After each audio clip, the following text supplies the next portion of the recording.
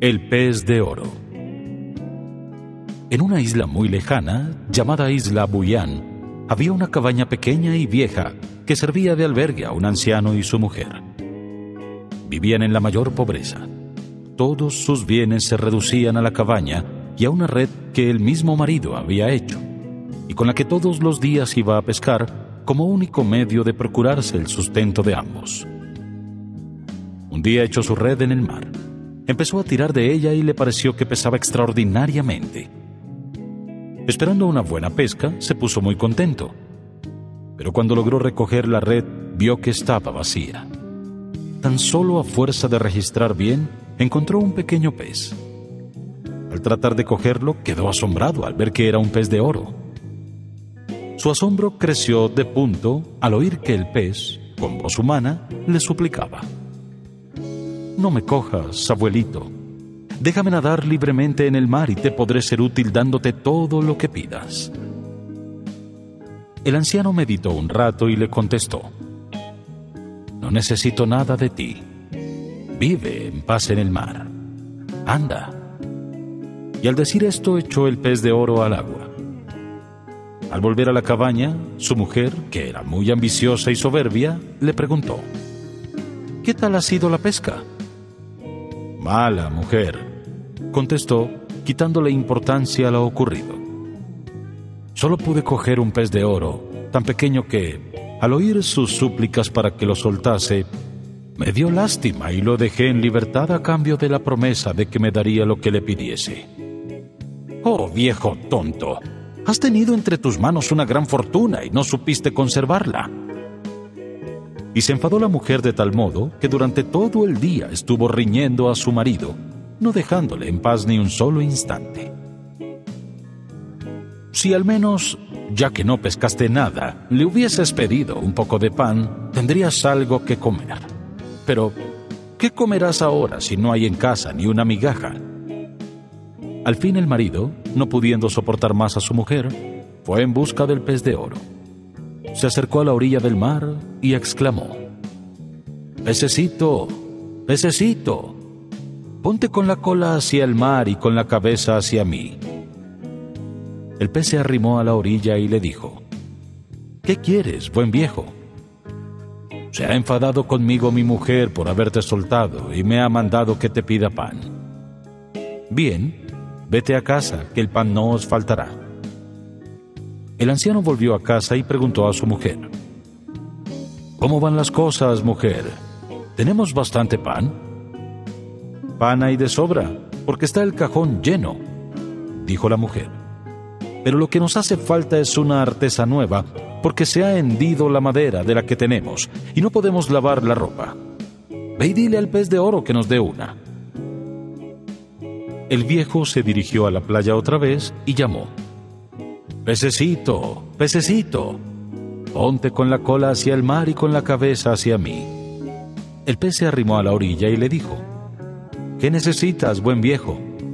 Mi mujer me mandó pedirte una artesa nueva. Bien, tendrás también una artesa nueva. De vuelta a su casa, cuando apenas había pisado el umbral, su mujer le salió al paso gritándole imperiosamente. Vete enseguida a pedirle al pez de oro que nos regale una caballa nueva. En la nuestra ya no se puede vivir porque apenas se tiene de pie. Se fue el marido a la orilla del mar y gritó, Pececito, pececito, ponte con la cola hacia el mar y con la cabeza hacia mí.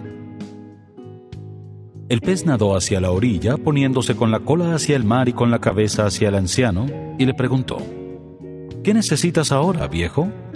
Construyenos una nueva cabaña.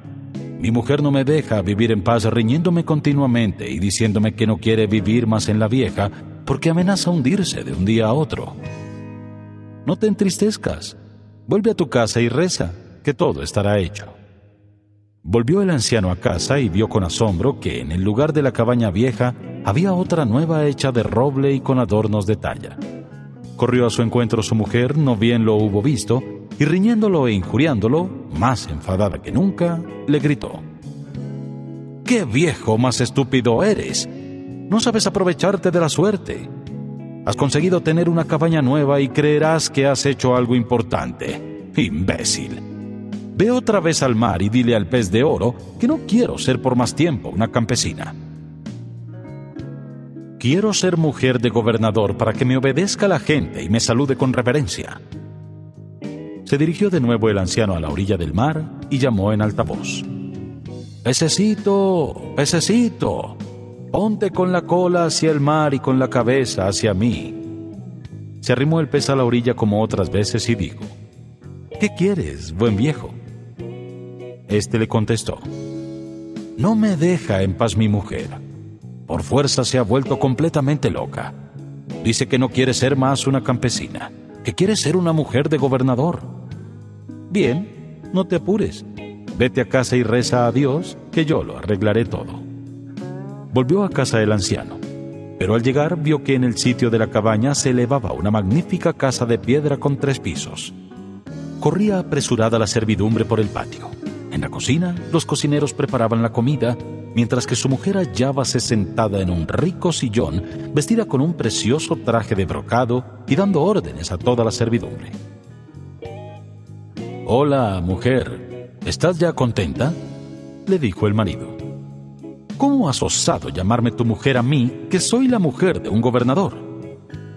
Y dirigiéndose a sus servidores les ordenó, Coged a ese miserable campesino que pretende ser mi marido y llevadlo a la cuadra para que lo azoten bien. Enseguida acudió la servidumbre.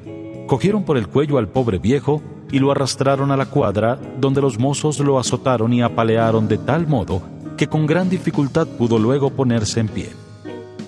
Después de esto, la cruel mujer le nombró barrendero de la casa y le dieron una escoba para que barriese el patio con el encargo de que estuviese siempre limpio. Para el pobre anciano empezó una existencia llena de amarguras y humillaciones. Tenía que comer en la cocina y todo el día estaba ocupado barriendo el patio, porque apenas cometía la menor falta lo castigaban apaleándolo en la cuadra. ¡Qué mala mujer!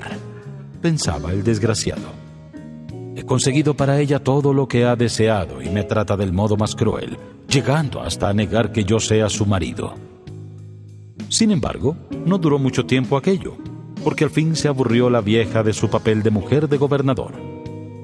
Llamó al anciano y le ordenó, Ve, viejo tonto, y dile al pez de oro que no quiero ser más mujer de gobernador, que quiero ser Sarina. Se fue el anciano a la orilla del mar y exclamó, Pececito, pececito, ponte con la cola hacia el mar y con la cabeza hacia mí el pez de oro se arrimó a la orilla y dijo, ¿Qué quieres, buen viejo? Ay, pobre de mí, mi mujer se ha vuelto aún más loca que antes. Ya no quiere ser mujer de gobernador, quiere ser zarina. No te apures, vuelve tranquilamente a casa y reza a Dios. Todo estará hecho. Volvió el anciano a casa, pero en el sitio de esta vio elevarse un magnífico palacio cubierto con un tejado de oro. Los centinelas hacían la guardia en la puerta con el arma al brazo. Detrás del palacio se extendía un hermosísimo jardín, y delante había una explanada en la que estaba formado un gran ejército. La mujer, engalanada como correspondía a su rango de zarina, salió al balcón seguida de gran número de generales y nobles, y empezó a pasar revista a sus tropas. Los tambores redoblaron, las músicas tocaron el himno real y los soldados lanzaron hurras ensordecedores. A pesar de toda esta magnificencia, después de poco tiempo se aburrió la mujer de ser zarina y mandó que buscasen al anciano y lo trajesen a su presencia. Al oír esta orden, todos los que la rodeaban se pusieron en movimiento. Los generales y los nobles corrían apresurados de un lado a otro diciendo, ¿Qué viejo será ese? Al fin, con gran dificultad, lo encontraron en un corral y lo llevaron a presencia de la zarina, que le gritó, Ve, viejo tonto, ve enseguida a la orilla del mar y dile al pez de oro que no quiero ser más una zarina. Quiero ser la diosa de los mares, para que todos los mares y todos los peces me obedezcan. El buen viejo quiso negarse pero su mujer lo amenazó con cortarle la cabeza si se atrevía a desobedecerla. Con el corazón oprimido se dirigió el anciano a la orilla del mar, y una vez allí, exclamó, Pececito, pececito, ponte con la cola hacia el mar y con la cabeza hacia mí. Pero no apareció el pez de oro. El anciano lo llamó por segunda vez, pero tampoco vino. Lo llamó por tercera vez y de repente se alborotó el mar. Se levantaron grandes olas y el color azul del agua se oscureció hasta volverse negro. Entonces el pez de oro se arrimó a la orilla y dijo, ¿Qué más quieres, buen viejo? El pobre anciano le contestó, no sé qué hacer con mi mujer. Está furiosa conmigo y me ha amenazado con cortarme la cabeza si no vengo a decirte que ya no le basta con ser una zarina, que quiere ser diosa de los mares para mandar en todos los mares y gobernar a todos los peces. Esta vez el pez no respondió nada al anciano. Se volvió y desapareció en las profundidades del mar. El desgraciado viejo se volvió a casa y quedó lleno de asombro el magnífico palacio había desaparecido, y en su lugar se hallaba otra vez la primitiva cabaña vieja y pequeña en la cual estaba sentada su mujer, vestida con unas ropas pobres y remendadas. Tuvieron que volver a su vida de antes, dedicándose otra vez el viejo a la pesca, y aunque todos los días echaba su red al mar, nunca volvió a tener la suerte de pescar al maravilloso pez de oro.